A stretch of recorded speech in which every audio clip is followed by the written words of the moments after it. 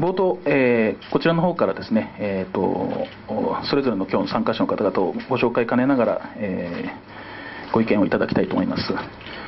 えー、まずですね、え向かって右手、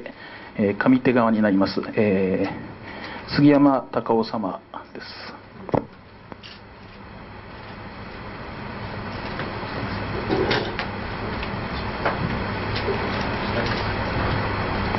えー、向かって、えー、左手の、えー、すみません、えー、真ん中の向かって左手ですね、えー、下手側になります、えー、桜井昌司様です。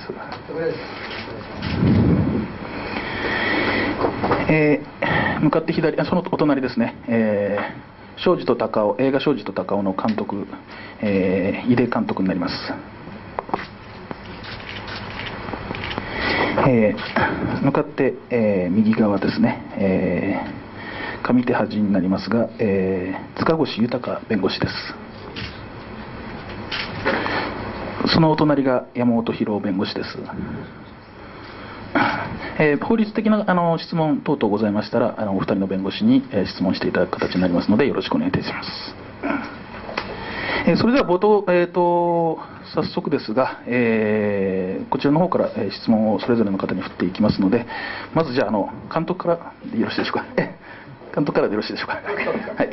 えっ、ー、と、監督あの、まあ、えー、庄司と高尾、えー、映画、えー、この度、え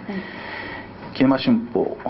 キネマ旬報、順報です、ね、順報すみません、キネマ旬報、えー、2010年、えー、文化部門第一ということで、はい、えー、受賞されました、はい、えー、映画の告知も兼ねまして、あの、はい、お願いできますでしょうか。はい。あ、よろしくお願いします。ちょっとあの、こういう席慣れないので、えー、大変上がっております。えっ、とですね、あの、もう皆さんご存知とは思いますが、えー、この映画はの1996年に、あの、え、ー、と、桜井昌司さんと杉山隆夫さんが仮釈放された時から、えー、昨年まで、えーまあ、断続的ですが14年間をあの記録した映画です。で、えっ、ー、と、昨年の9月に作りまして、えー、お披露目試写会などであのいろいろな方に見ていたいだいたんですが、あの2人にまあ生活に密着した形で、えーとまあ、作られたあのこういった映画というのが少なかったせいか非常にあの皆さんあの驚いてご覧になりました。2時間40 30分38分もあるんですけれどもあの